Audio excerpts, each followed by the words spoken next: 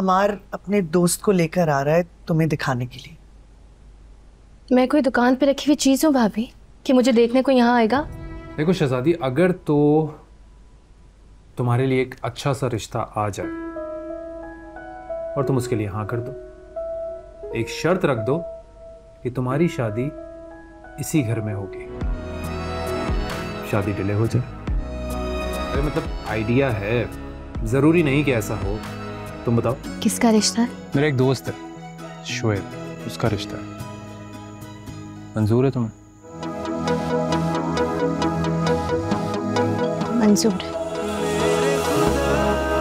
भाई शहजादी को कुछ लोग देखने के लिए आ रहे हैं आज। सर प्लीज़ दोबारा ये तमाशा मत कीजिएगा। आपको याद है पिछली दफ़ा शहजादी ने कितनी बुरी तरीके से लड़के वालों को बेइज्जत करके निकाला था? हेरा हेरा। इस दफ़ा शायद ऐसा ना हो। वो कैसे? लड़का मार का दोस्त है। तो मैं तो कहती हूँ अगर अमार का दोस्त है ना तो फिर शादी फ़ौरन ही कर देनी चाहिए। हाँ कर दें। बात सुनो मेरी। चाहे वो अम्मार का दोस्त हो बहुत अच्छा हो लेकिन फिर भी शहजादी की राय मालूम करना बहुत ज़रूरी है। पूछ लो उससे। मेरे ख्याल से बड़े मामा ठीक कह रहे हैं हमें शहजादी की राय ले लेनी चाहिए। तो ठीक है कर लेते हैं बात। आ, शहजादी तुम्हें पता है कि आज तुम्हें कोई देखने आने वाला है? नहीं। अमार अपने दोस्त को लेकर आ रहा है तुम्हें दिखाने के लिए। मैं कोई दुकान पे रखी हुई चीज़ हूँ भाभी कि मुझे देखने को यहाँ आएगा? शहजादी बेटा तुम्हारी शादी के हवाले से तुम्हें देखने आ रहे हैं तुम्हारा रिश्ता हो रहा है।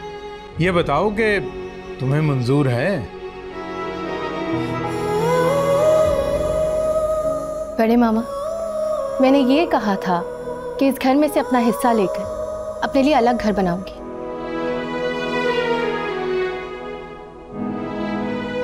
शादी का तो मैंने पहले ही मना कर दिया था।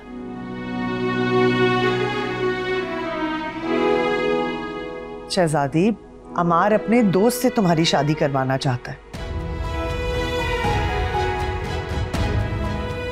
अमार का दोस्त भी अमार जैसा ही होगा ना?